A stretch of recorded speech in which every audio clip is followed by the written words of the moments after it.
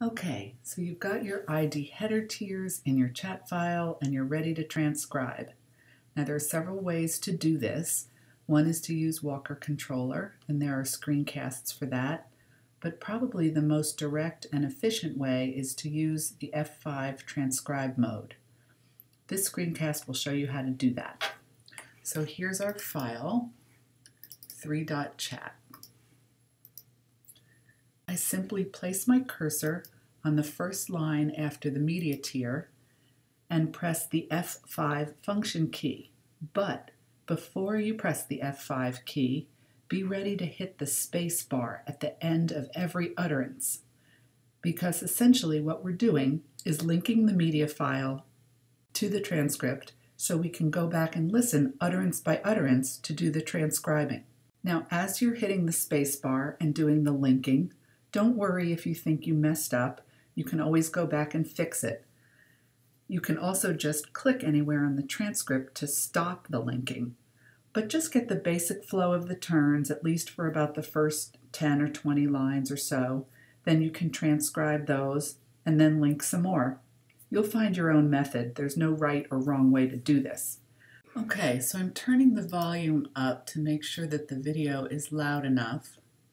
And then put my cursor here on the first line and I'm going to press the F5 function key and hit the space bar at the end of every utterance. You'll hear a sound every time I hit the space bar. So here we go. F5. Okay. A lady went shopping and her wallet fell out of her purse um, without her realizing it. And when she went to check out, she realized she had no wallet, so she put the groceries back and went home. And when she got home, the phone rang, and a little girl told her that she had found her wallet, and the woman was very relieved. Okay, so now we have these bullets at the end of each line, which are the timestamps that link each utterance to the video.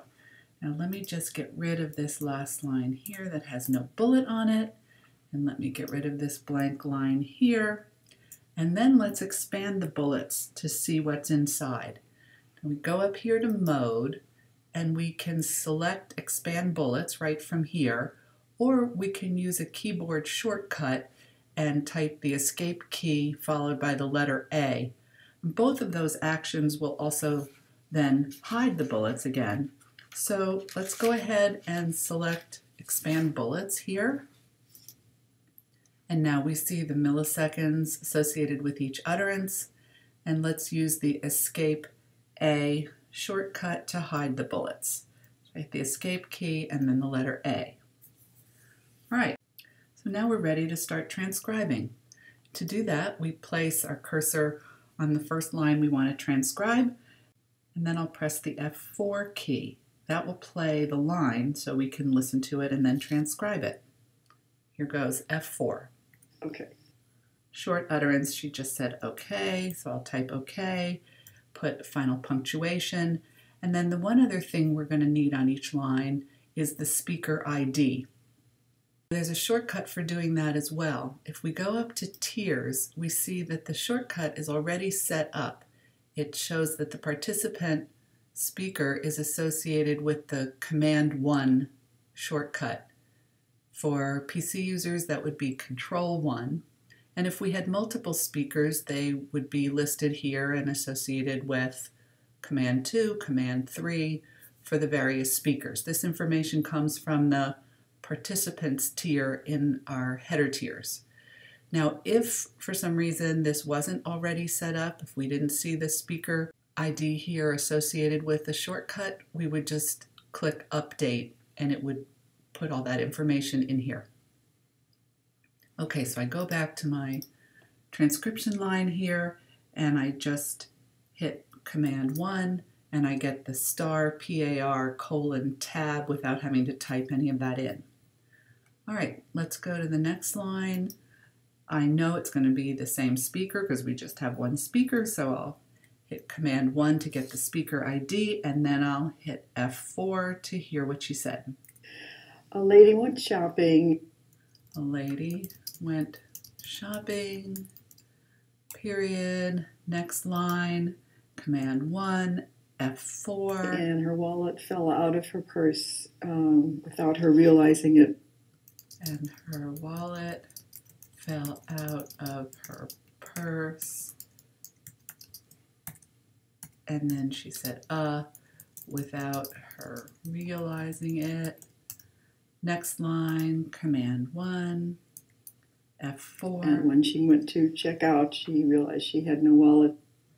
And when she went to check out, she realized she had no wallet.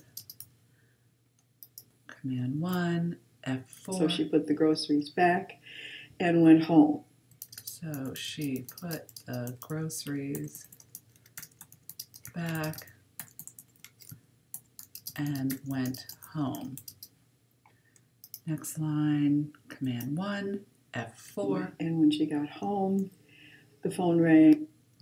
And when she got home, the phone rang. Next line, command one, F4. And a little girl told her that she had found her wallet. And a little girl told her that she had found her wallet. Next line, command one, F4. And the woman was very relieved. And the woman was very relieved. Okay, the next thing to do would be to save this. I can do that with the keys with Command S, or I can go up to File, Save.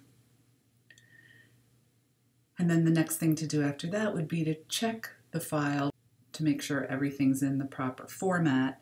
And to do that, we press the escape key, release it, and then type L, and we get this message at the bottom, success, no errors found. But let me show you what a few errors would look like.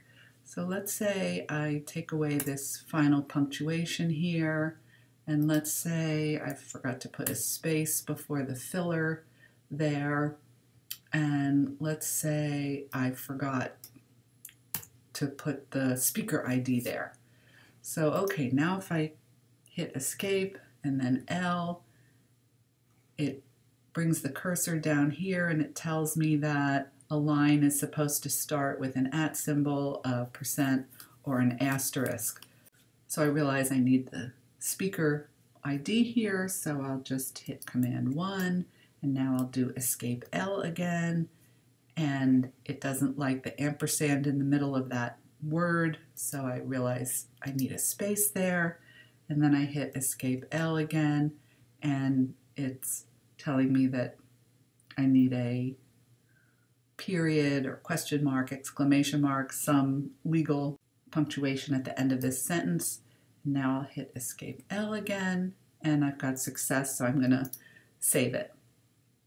So that's really the whole story. I'll add a few comments um, about bulleting and also about some things that you might encounter when you're transcribing, like repetitions, revisions, sound fragments that didn't occur in this sample. But first, bulleting. If you notice that your original bulleting wasn't too good on some of the lines, you can just put your cursor on your last good line and then start the F5 bulleting process over again. The new bullets will replace the old ones, and you can do that for just a few lines or for the remainder of the transcript if you got distracted and messed up. But remember, you can always use F4 to play a given line to see if it's good. And then you can always use Escape A to open and close the bullets to see the numbers. And another hint on that is that you can manually adjust the numbers in the bullets to get the start and stop times more accurate. Then a few notes about how to deal with things like repetitions, revisions, and sound fragments. Let's say on the last line she said, and the the woman was very relieved. So we would type the second the in there, but we would indicate with a square bracket and one slash that the word the was repeated. So when we eventually run the MOR command and we get a morphological parse underneath the utterance, it won't parse the word the two times. Let's say she said, and the, and the woman was very relieved. so it was more than just one word repeated, then we put those words inside angle brackets to indicate that both of them were repeated. Now, if she made a revision, let's say she said, and then the woman was very relieved, we would indicate that with two slashes, that those two words were revised. If one word was revised, we don't need the angle brackets. We just need the square brackets with the two slash marks. So for example, if she said, and the lady, but then she changed that to woman, was very relieved, that's how we would mark that. One last thing, if there are sound fragments, so just parts of words or sounds that a person produces, we transcribe those with an ampersand plus. So maybe she said, and the wo woman was very relieved. So those are some of the basics for transcribing with F5.